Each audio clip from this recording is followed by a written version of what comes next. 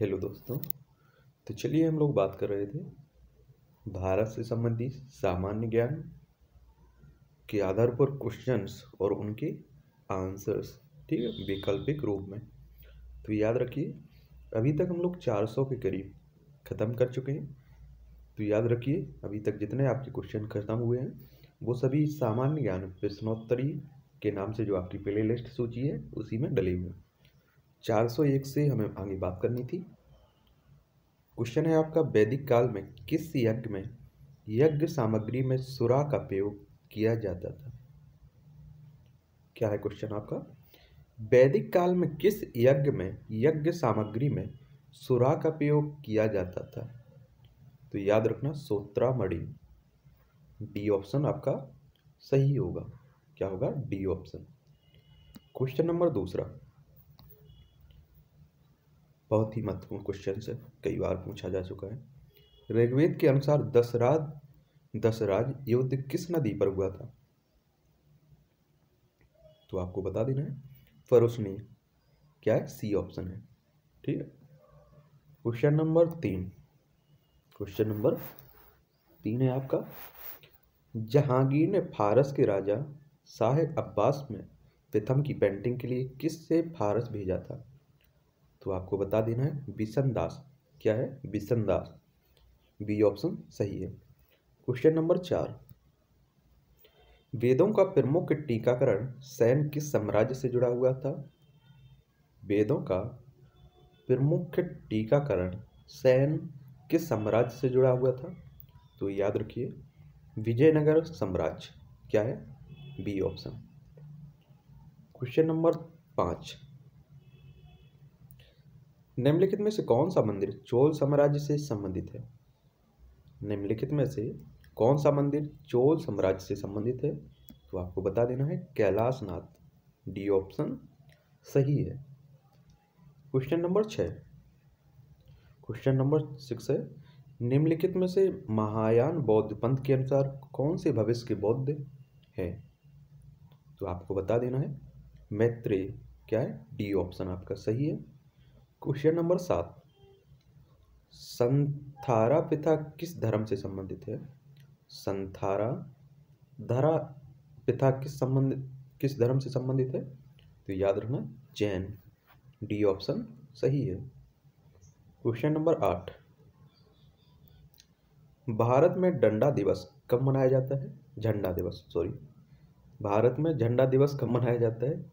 सात दिसंबर को। कब? सात दिसंबर को। ठीक है। क्वेश्चन नंबर आपका नौ। क्वेश्चन नंबर नौ है। राष्ट्रीय गणित दिवस कब मनाया जाता है? राष्ट्रीय गणित दिवस कब मनाया जाता है? तो याद रखना, बाईस दिसंबर। कब? बाईस दिसंबर। क्वेश्चन नंबर दस। भारतीय संविधान के किस अनुच्छेद के तहत लोकसभा में अनुसूचित जातियों और जनजातियों के लिए आरक्षण की दिया गया है? याद रखना, लोकसभा में पूछ रहा है। तो इसमें होगा आपका तीन सौ तीस। क्या होगा? ए ऑप्शन सही होगा।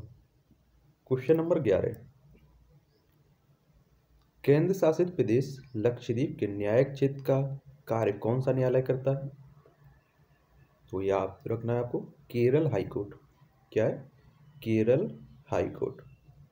Question number बारह। सुप्रीम कोर्ट के जजों की संख्या को कौन बदल सकता है?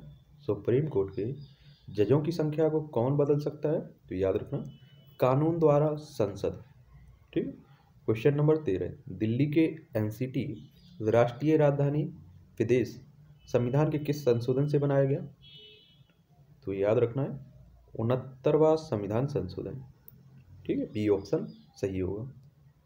क्वेश्चन नंबर चौदह भारत में तीन स्तरीय पंचायत, पंचायती प्रणाली कितने जनसंख्या के ऊपर वाले राज्यों में है?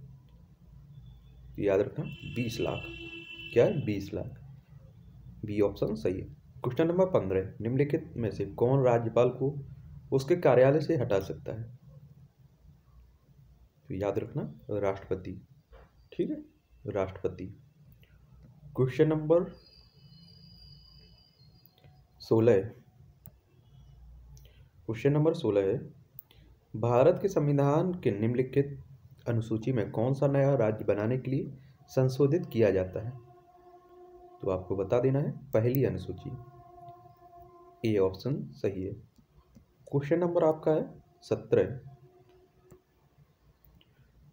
उपराष्ट्रपति को हटाने का प्रस्ताव किसमें पेश किया जाता है? उपराष्ट्रपति को हटाने का प्रस्ताव किसमें पेश किया जाता है? केवल राज्यसभा में। ठीक है? क्वेश्चन नंबर अठारह। सीमा प्रबंध प्रबंधन विभाग किस मंत्रालय के अंतर्गत आता है? तो आपको बता देना है, गृह मंत्रालय। ए ऑप्शन सही है। क्वेश्चन है आपका उन्नीस। क्षेत्रफल के हिसाब से भारत की सबसे बड़ी लोकसभा सीट कौन सी है? तो याद रखना, लद्दाख। ठीक? याद रखना अब लद्दाख को केंद्र शासित प्रदेश बना दिया गया, ठीक क्वेश्चन नंबर आपका है बीस। संविधान का अनुच्छेद 123 किससे संबंधित है? तो याद रखना, राष्ट्रपति के अध्यादेश से। किससे? राष्ट्रपति के अध्यादेश से। क्वेश्चन नंबर आपका होगा 21 सबसे बड़ा न्यायिक क्षेत्र किस उच्चतम न्यायालय का है? सबसे बड़ा न्यायिक क्षेत्र किस उच्चतम न्यायालय का है? तो आपको बता देना है, गुवाहाटी उच्च न्यायालय का। ये ऑप्शन सही है। क्वेश्चन नंबर बाईस, निम्नलिखित में से कौन सी भाषा संविधान की आठवीं अनुसूची में नहीं है? आपको याद रखना चाहिए, बाईस भाषाएँ कुल, ठीक है? आठवीं अनुसूची में। तो इसमें है आपकी फारसी नहीं है, ठीक है? संस्कृत है, नेपाली है, कश्मीरी है। फारसी नहीं है बी ऑप्शन होगा, ठीक है? क्वेश्चन नंबर तेईस। निम्नलिखित में संविधान का कौन सा भाग संशोधित नहीं किया जा सकता है? तो याद रखना, न्यायिक समीक्षा। सी ऑप्शन सही है। क्वेश्चन नंबर चौबीस। भारतीय संविधान में संशोधन का प्रस्ताव किस देश के संविधान से लिया गया है? तो याद रखना, दक्षिण Africa B option A option सही है, दक्षिण अफ्रीका, ठीक है? क्वेश्चन नंबर पच्चीस। राष्ट्रीय वरिष्ठ नागरिक परिषद का अध्यक्ष कौन होता है? तो याद रखना, सामाजिक न्याय और अधिकारिता मंत्री। क्वेश्चन नंबर छब्बीस। मतदान निगरानी प्रणाली पहली बार किस राज्य में लागू की गई? तो याद रखना, गोवा में की गई थी। बी ऑप्शन सही है।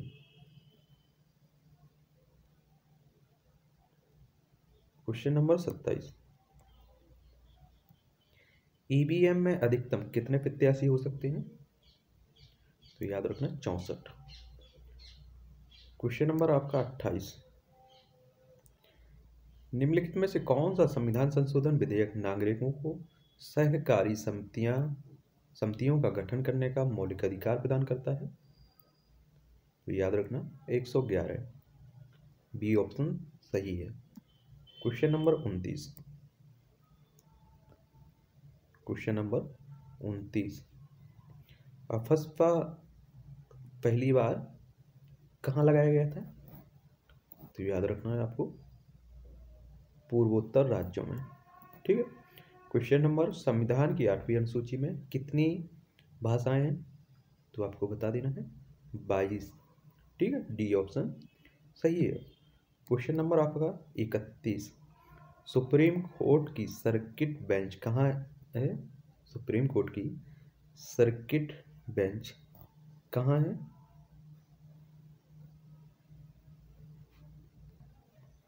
इसमें होगा आपका कोलकाता। सी ऑप्शन सही है। ठीक। क्वेश्चन नंबर आपका है बत्तीस। क्या है? क्वेश्चन नंबर बत्तीस। प्रधानमंत्री का पंद्रह सूत्रीय कार्यक्रम निम्नलिखित में से किसके लिए है? तो याद रखना, अल्पसंख्यक। बी ऑप्शन सही है आपका। क्या है? बी ऑप्शन आपका सही है। क्वेश्चन नंबर तैंतीस। भारतीय राष्ट्रीय एकता परिषद का अध्यक्ष कौन होता है? भारतीय राष्ट्रीय एकता परिषद का अध्यक्ष कौन होता है? प्रधानमंत्री। ये ऑप्शन सही है। क्वेश्चन नंबर चौंतीस।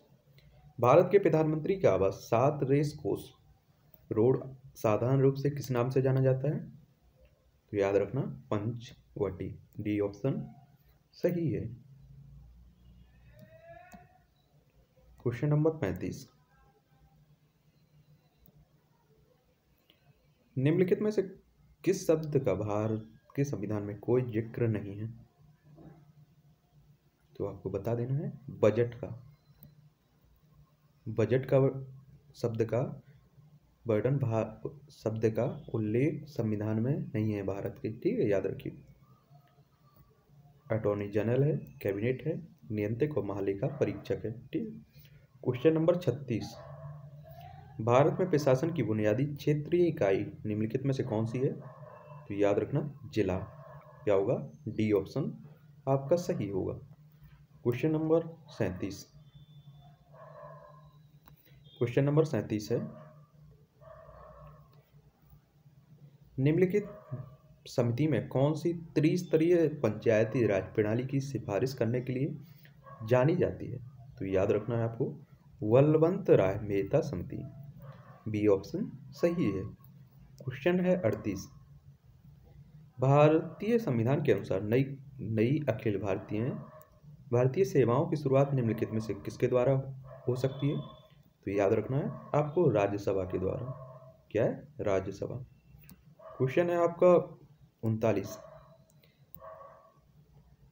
कर्नाटक की राजधानी कौन सी है? कर्नाटक की राजधानी कौन सी है? तो याद रखना, बेंगलुरु। बी ऑप्शन सही है। क्वेश्चन नंबर आपका है। चालीस। हसन निजामी और फ़क ए मुदीर किसके दरबारी कवि थे?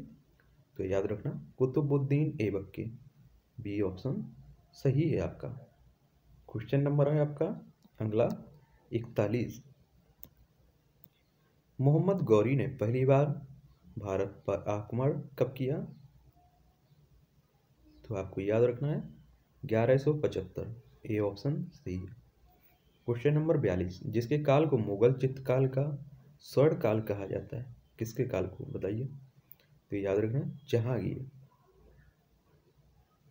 ठीक है? क्वेश्चन नंबर आपका है तैतालीस। किसका काल मुगल वास्तु कला का स्वर्ण काल कहा जाता है? तो आपको बता देना है, शाहजहां। ठीक? याद रखना है आपको यहाँ। क्या याद रखना है? चित्रकला का स्वर्ण काल मुगल काल में, जहांगीर के काल को कहते हैं, वो वस्तु, वास्तुकला का स्वर्ण काल शाहजहां की, ठीक है? क्वेश्चन नंबर चवालीस। मोहम्मद बिन कासिम ने भारत पर आक्रमण कब किया? मोहम्मद बिस, बिन कासिम ने भारत पर आक्रमण कब किया? 712 ईस्वी में, ठीक है? क्वेश्चन नंबर पैंतालीस। लिंगराज मंदिर किस राज्य में है? प्रदेश में। तो याद रखिए, उड़ीसा। डी ऑप्शन सही है। क्वेश्चन नंबर है छियालीस। नटराज की कांस मूर्ति किस वंश से संबंधित है? तो याद रखना, चोल। क्या है? बी ऑप्शन सही है आपका। क्वेश्चन नंबर अगला होगा सैतालीसवा। अमोघ वर्ग किस वंश से संबंधित था? अमोघ वर्ष किस वंश से संबंधित था? तो ये था राष्ट्रकूट। ठीक है? क्वेश्चन नंबर आपका है? अड़तालीस। ब्रिटेन की राजनी एलिजाबेथ प्रथम किसके समकालीन थी? ये अकबर। क्या है? सी ऑप्शन सही है। क्वेश्चन है आपका उनचास। छब्बीस वो छब्बीस सौ ईसा पूर्व से उन्नीस सौ ईसा पूर्व तक भारतीय उपमहाद्वीप के पश्चिम में कौन सी सभ्यता रही तो आपको याद रखना है, सिंधु घाटी सभ्यता। ए ऑप्शन सही है आपका। क्वेश्चन नंबर है पचास। हर्षवर्धन के राज्य का समय काल क्या था? तो याद रखना, ये था छः सौ छः से छः सौ सैतालीस तक। ठीक है? क्वेश्चन नंबर आपका इक्यावन। क्वेश्चन नंबर इक्यावन। नेपोलियन बोनापार्ट किस वर्ष सम्राट बना तो याद रखना, ये बना 1804 में। ठीक है? ये ऑप्शन सही है। क्वेश्चन है आपका बावन। भारत द्वारा सबसे ज़्यादा निर्यात किया जाने वाली फ़सल कृषि पदार्थ कौन सा है? बासमती चावल। डी ऑप्शन सही है। क्वेश्चन नंबर तिरपन। क्वेश्चन नंबर तिरपन है, निम्नलिखित में से कौन सा मिलान सही नहीं है? तो यह विधि आंध्र प्रदेश, सही है। रसीला, गुजरात। विदेशिया, उत्तराखंड, नहीं है, ठीक है? ये नहीं है। कृष्ण वटम केरल। ये भी सही है। तो आपका क्या होगा? तैंतालीस में, तिरपन में, सी ऑप्शन होगा, ठीक है? क्वेश्चन नंबर चौवन। नोह कलियाई झरना किस प्रदेश में है? तो याद रखना, मेघालय। क्या होगा? C option. क्वेश्चन नंबर पचपन। केरल में सबरीमाला के लिए समर्पित एक प्रसिद्ध जगह है। तो याद रखना, अयप्पन। ये ऑप्शन सही है। क्वेश्चन नंबर आपका है, भारत में खाद्य सुरक्षा और मानक अधिनियम कब पारित हुआ? तो आपको बता देना है 2006 में। क्या होगा? बी ऑप्शन आपका सही होगा। क्वेश्चन नंबर आपका अगला होगा, संतावन। नाबार्ड में भारत सरकार का कितना प्रतिशत हिस्सा है? तो याद रखना, निन्यानवे। क्या होगा? डी ऑप्शन सही होगा आपका। अंठावन क्वेश्चन है भारत में कि कुल बाहरी ऋण में अधिकतम हिस्सा किसका है? तो याद रखना, दीर्घ अवधि उधार। क्वेश्चन नंबर उनसठ।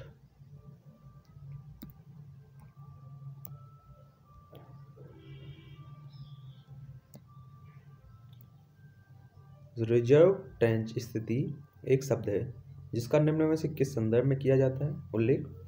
तो याद रखना, अंतर्राष्ट्रीय मौद्रिक कोष। ठीक है? क्वेश्चन नंबर साठ। राष्ट्रीय लघु बचत निधि निम्नलिखित में से किसका भाग है? तो आपको बता देना है, भारत का सार्वजनिक खाता। ये ऑप्शन सही है आपका। क्वेश्चन है आपका इकसठ। भारत में कुल विदेशी ऋण में अधिकतम हिस्सा निम्नलिखित मुद्रा में से है। तो याद रखना यूएस डॉलर क्वेश्चन नंबर बासठ। राष्ट्रीय केसर मिशन किसकी उपयोजना के रूप में लॉन्च किया गया? तो याद रखना, राष्ट्रीय कृषि विकास योजना के। क्वेश्चन होगा आपका तिरसठ। भारत में अप्रत्यक्ष कर का सबसे ऊँचा प्राधिकरण कौन सा है? सी बी ई सी सी ऑप्शन सही है ठीक है? अप्रत्यक्ष कर का सबसे ऊँचा प्राधिकरण था ये C B F C B E C ठीक है? क्वेश्चन नंबर चौंसठ. निम्नलिखित में से कौन सा डेटा मासिक रूप से जारी किया जाता है?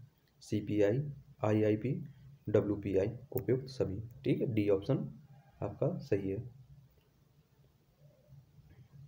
क्वेश्चन नंबर आपका अगला होगा, पैंसठ। निम्नलिखित में से कौन सा एक अप्रत्यक्ष कर नहीं है? तो निगम कर नहीं एक्सरसाइज ड्यूटी, सेवा कर, बिक्री कर। याद रखिए अब अप्रत्यक्ष कर की जगह जीएसटी जीएसटी आपका आ चुका है, ठीक है? क्वेश्चन नंबर छियासठ, प्रत्यक्ष कर कोड निम्नलिखित में से किससे संबंधित है? तो यह आयकर, डी ऑप्शन सही है आपका। क्वेश्चन है आपका सड़सठ। निम्नलिखित में से क्या आदेश से निर्यात उत्पन्न करता है? यातायात और यात्रा, ये ऑप्शन सही है। क्वेश्चन नंबर अड़सठ, न्यूनतम मजदूरी अधिनियम कब पारित हुआ? 1948 में। बी ऑप्शन सही है। क्वेश्चन नंबर आपका अगला है उनहत्तर। क्या है? उनहत्तर।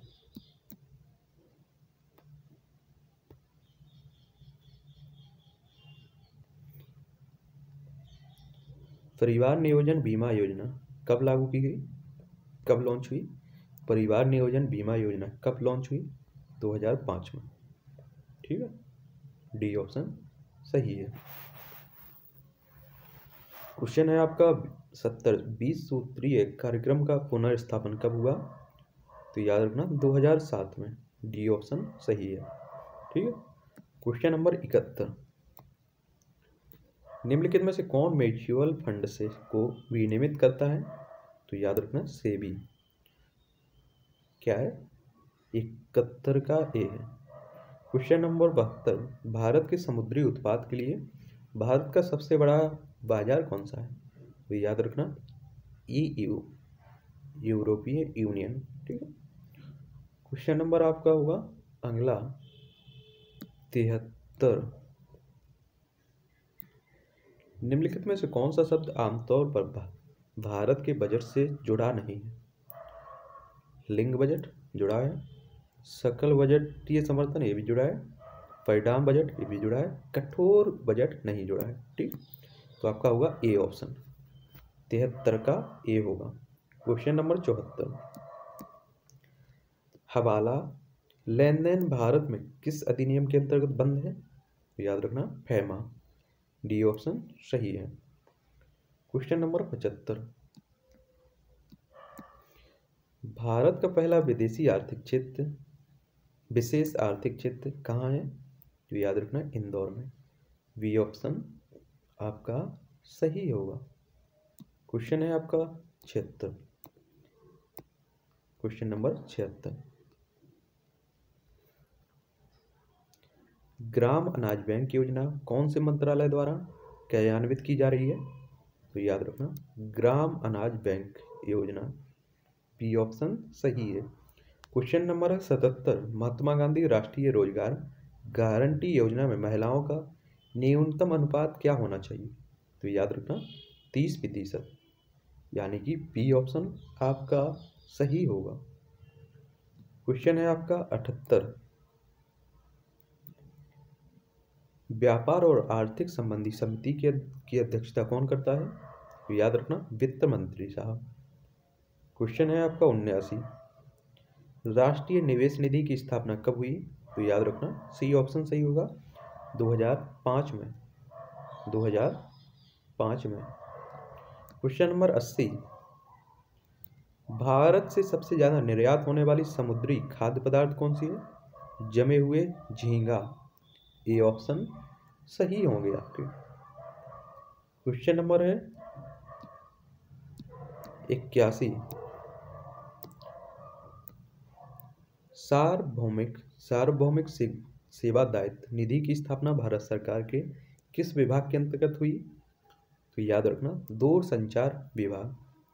क्वेश्चन नंबर है आपका, बयासी। नेशनल ऑप्टिकल फाइबर नेटवर्क निम्नलिखित में से किसके लिए ब्रॉडबैंड कनेक्शन प्रदान करता है? करेगा तो याद रखना, ग्राम पंचायत। ये ऑप्शन सही है आपका। क्वेश्चन नंबर आपका अगला होगा, तेरासी।